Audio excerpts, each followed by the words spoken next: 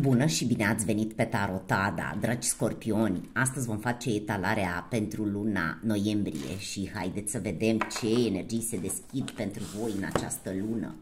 Scorpioni, noiembrie, ce e bine pentru voi în această lună și haideți să vedem.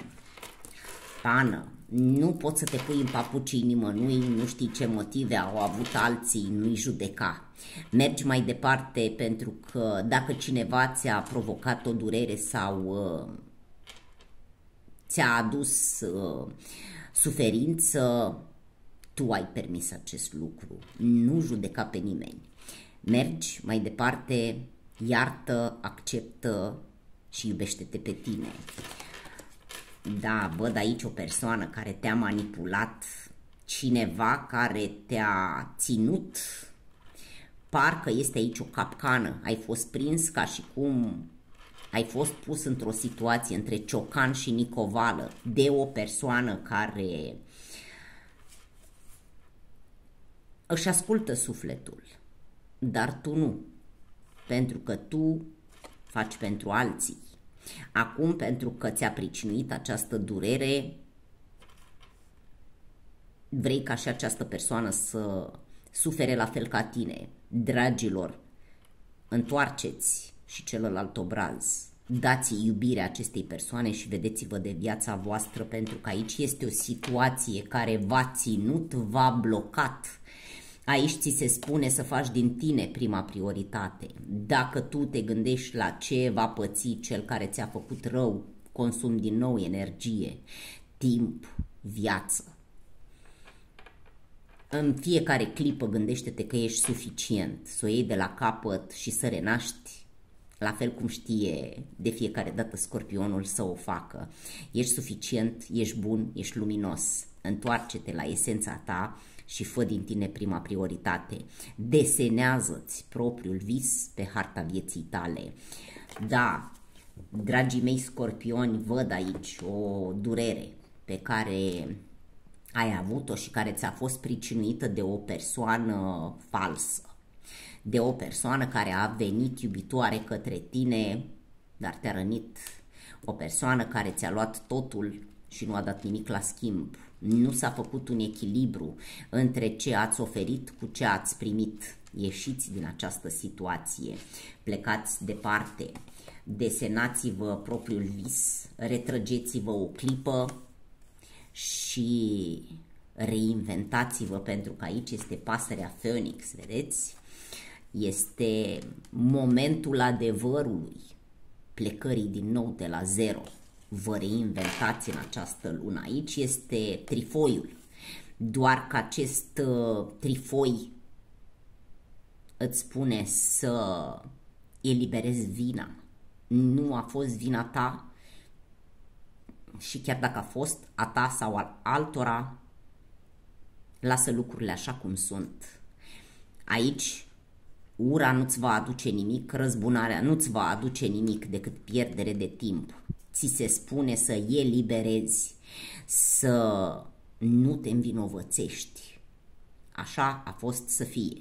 Să primești în viața ta o persoană pe care ai crezut-o iubitoare, pe care ai iubit-o și care la rândul ei nu ți-a oferit nimic în schimb. Aici faci pace cu trecutul. Pot fi aici karme de familie, ai urmat un tipar, închizi acest lucru și faci pentru tine lucruri te îmbraci frumos, îți schimbi coafiura, îți schimbi mindset-ul și te reinventezi. Văd aici reinventare pentru scorpion și încredere în propria persoană. Aici ai conștientizat că nu trebuie să ceri aprobarea nimănui, nu trebuie să aștepți ca altcineva să vină să-ți spună ce ai tu de făcut, pentru că ești suficient de bun. Aici ți se spune să fii uh, sincer cu tine. Fii sincer cu tine și mergi mai departe pentru că aici renaști, este pasărea Phoenix, dragilor. Da, ați trecut printr-o furtună, posibil aici să fi fost o despărțire brutală, un conflict la serviciu, în viața sentimentală, aici poate fi un șef, un părinte, un copil, o persoană apropiată, un iubit, o iubită, un rechin, dragilor. Un rechin, aici ți se spune să nu-ți departe de această situație pentru că nu este pentru tine și fă schimbarea în viața ta. Sabie, schimbă lucrul, schimbă-te pe tine, e timpul pentru vindecare, nu pentru război. Aici aveți noroc, puteți, este o perioadă în care nu învinovăți pe nimeni, mergi mai departe pur și simplu și fii fericit în propria ta viață. Haideți să vedem ce ne spune și tarotul ce energii frumoase vă eliberați de o mare greutate. Vedeți, marele preot, poate de o credință că trebuie să stai acolo pentru că așa este tradiția. Pentru că așa se cere, așa cere societatea. Dragilor, voi visați la un 10 de monede, care vine repede către voi. O însănătoșire a voastră, o ieșire din acest 10 de săbii. Vedeți? O contradicție, un, uh, o energie la pol opus. 10 de săbii și 10 de monede. Ce alegeți? Aici este 2 de bâte. E o alegere. Cu cine faci parteneriat? Pe cine mai primești în viața ta? Merită această persoană toată investiția ta? Dacă nu, eliberează-te și predă-te sufletului tău, visului tău, credințelor tale, pentru că aici văd credințe greșite pe care tu ți-au fost livrate de-a lungul timpului și ai rămas în ele. Aici este timpul schimbării, reechilibrării, îți iei puterea înapoi și mergi mai departe. Dragilor, voi aveți aici persoane iubitoare care intră în viața voastră și care vă ajută să îndepliniți un vis și repede, de voi depinde cât de repede vă rupeți de această credință, de acești oameni falși. Este o alegere, un parteneriat pe care trebuie să-l încheiați și unul pe care trebuie să-l faceți nou. Să ieșiți din acest 10 de săbii pentru că acest război nu v-a răpus. V-a plâns sufletul, dar ați rămas întregi. Trecând peste acest război, veți ajunge la un 10 de monede, dragilor. Aici este regina de cupe, aici este lumea, aici este marele preot. Avem persoane în zodii de apă ca și voi, voi sunteți în energia voastră, rac, scorpion, pești, taur, capricorn sau vărsător care se îndreaptă către voi. Vă vor ajuta aceste persoane în drumul vostru, în vindecarea voastră. Se cere vindecare și nu război.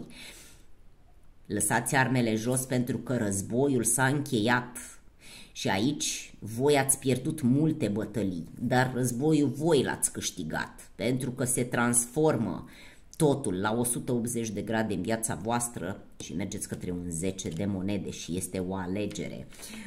Foarte interesantă această lună pentru scorpion. Scorpionii se aleg pe ei pentru că meritați, dragilor.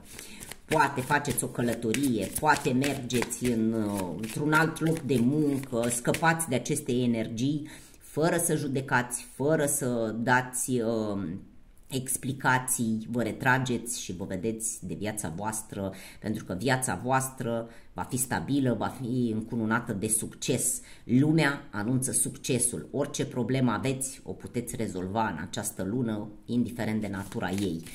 Haideți să vedem un sfat pentru voi, Scorpion. Aici vei primi de la îngeri, vei primi de la ghizii tăi spirituali, îndrumare și susținere, ți se spune să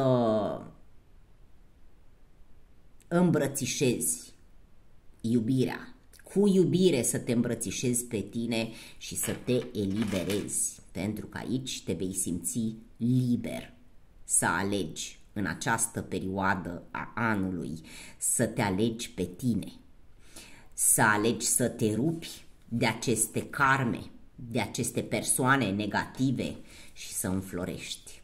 Fii sincer cu tine și bucură-te de tot ceea ce ești. Este o energie puternică, dragilor. Aici primești de la îngeri îndrumare, susținere, protecție.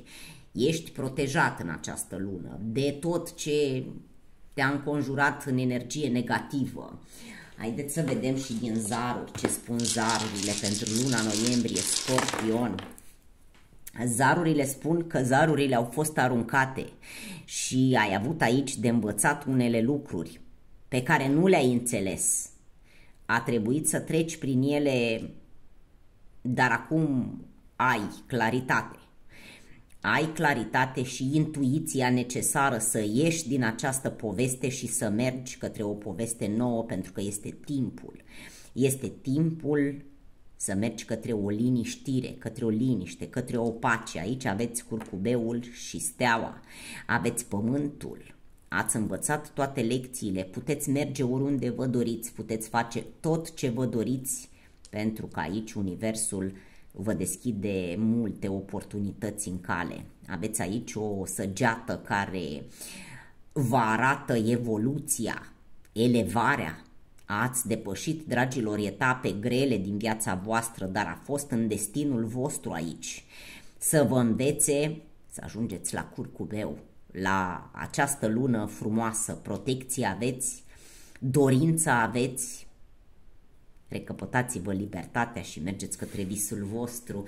Este o energie frumoasă pentru scorpion, greu aici, 10 de săbii, cea mai mare durere, care se vindecă, pentru că îți dorești să te vindeci. Se cere vindecare și nu război. Da, Marele Preot anunță acele credințe pe care le-ai avut și de care te scuturi acum. Te eliberezi. Pentru că aici ai stat și te-ai învinovățit. Eliberează-te de vinovăție. Dragilor, dacă acționăm în virtutea legilor divine, intențiile sunt uh, bune, nu aveți de ce să vă îngrijorați. Mergeți pe drumul vostru, indiferent dacă oamenii uh, renunță pe parcurs. Voi mergeți cu visul vostru, pentru că aici renașteți în această lună. Dacă aveți o întrebare pentru această lună, să-i găsim și un răspuns. Așteaptă, încă nu este momentul potrivit. Aici îți spune să aștepți, aici îți spune să treci la acțiune. Probabil că întrebarea pe care tu o ai în gând acum necesită să mai faci ceva și să rezolvi înainte de a face, de a se împlini această dorință, această întrebare a ta, să mai faci ceva pentru tine. Pentru că aici ți se spune să treci la acțiune și să mai obții poate informații, pentru că s-ar putea să fie aici o oportunitate mult mai mare decât crezi tu. Răspunsul este da la întrebarea ta. E o oportunitate, dar mai așteaptă să vezi cum se liniștesc apele mai fă între timp și altceva sau cere mai multă informație. Frumoasă lună, vă iubesc, mă îmbrățișez cu multă căldură și vă doresc un noiembrie de vis. Vă pup, pa, pa!